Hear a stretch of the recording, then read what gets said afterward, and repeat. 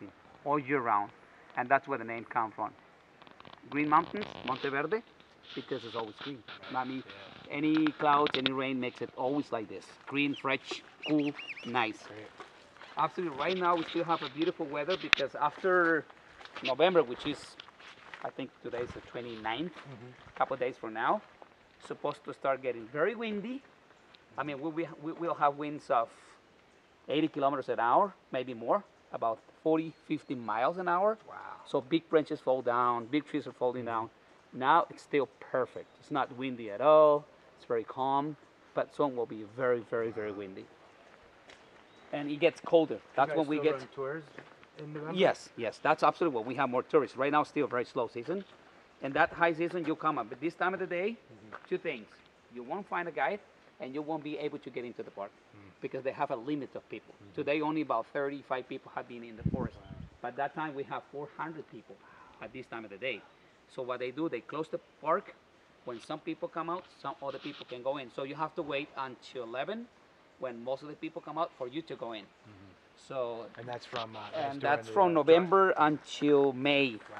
which is when parts of the United States and Canada start getting colder. So a lot of people comes down to Yeah. Costa Rica.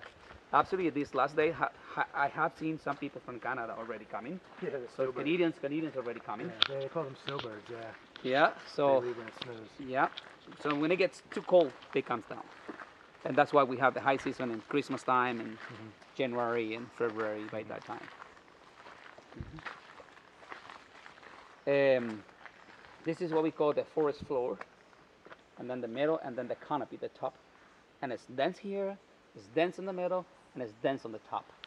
That's why, uh, uh, first of all, we're not allowed to go off the trails anyways, but it's impossible also to do it. I mean, you can go a few meters, but soon there's no way to go through. It's so dense, so you have to turn around. There's a beautiful bird sound here. His name is a nightingale. You might have some nightingales in North America. There might be some Yeah, we species. So that's a type of nightingale. He's on the ground, hopping like a little rabbit somewhere back there. I don't see it right now, but he might be somewhere back here. Nightingale. There he goes. He's letting you go. hmm He has beautiful sounds. Mm-hmm. I've said there's a lot of writing people that talks about the bird because the beautiful calls they make. See?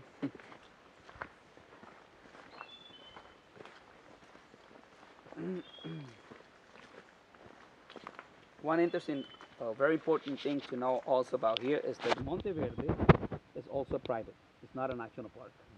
In Costa Rica, right now we have 32% of the country, more or less. Mm-hmm. It's protected by national parks. But Monteverde is private, and some other places are private as well. But mm-hmm. most people think that Monteverde is a national park. What's the difference? The difference is that the people that come here, the money that people pay, is the money they use, we use to keep the trails in a good condition like this. We put this material. This is what we call plastic wood. It's a recycled plastic. All those empty bottled water, all those plastic bags come back like this. Mm-hmm. About five years ago, the trails were made out by what we call galletas. Galleta means cookies. Mm-hmm. When a big tree fall down, they make slides. They put the slides on the trail, and then we walk on it. But what's the idea? If a tree fall down there, let's leave it there. It's going to rot. It's going to decompose. It's going to be part of the forest. Not just bring it here on trails just for us to walk. So now we use plastic or mm. other materials, mm. and not wood anymore. Plastic doesn't last too long Yeah. because it's pretty wet all year round. It rots really fast. fast. All the signs, for example, this sign here on the right, this sign on the left, are made recycled plastic. So we're gonna go like, we're gonna go up to the little waterfall here. We're gonna come back here and we're gonna make it back. This whole area here is only three percent of the whole park. The whole park it's enormous. It's the whole big area around there. So this is what we call the impact area. This is where the tourists are, and then the rest is good for biologists. It's good for the wildlife to mm-hmm. stay out there without being interrupted by people or something like that. We have a hanging bridge here from Rocky Mountains in Canada all the way to Argentina. We have something that's called the Continental Divide, more or less water divide, Pacific and Atlantic side. So when it rains right there, the water have to decide which way to go. That's more or less Continental Divide. So later on, if you want it, you can take El Camino, going by the hanging bridge, all the way to the Continental Divide, come back like this, make a shortcut, and come back like that. I think they're working, they're repairing the trail, putting something like this. So they they have this part closed, but you can make it back like this. That'll be that'll be like an hour there, maybe another hour back. So Mm. two hours doing this round trip by yourself. Okay. Maybe a little shorter, maybe a little faster. and it's Depends a- on how fast you And walk. it's a nice hang. It's gonna hang a bridge. It's Well, it's a nice uh, different perspective of the forest from the treetops. In Monteverde, we have some other places uh, that have a lot of hanging bridges, but here we have one Gotcha. for those people that doesn't have time Mhm. or doesn't have opportunities to go to the other hanging bridges. So this is 100 meters long. 100 meters might be about uh, what close to 300 feet, something like that.